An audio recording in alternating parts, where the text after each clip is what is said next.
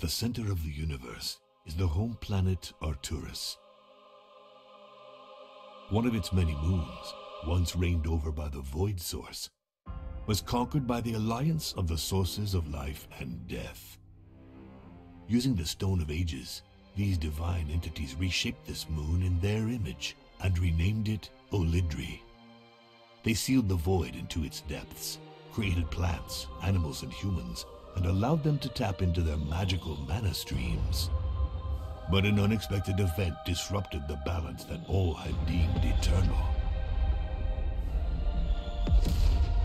One night, a mysterious ship from another world crashed down in the barony of the Lucans. Over the generations, research into the vessel's wreckage gave rise to a new power called technology. Seeking to counter this science from the stars, magic's most fervent defenders formed the Coalition. War broke out, revealing the existence of a forgotten people and an unknown mana called Infinity. Today, Olydri is divided into three factions.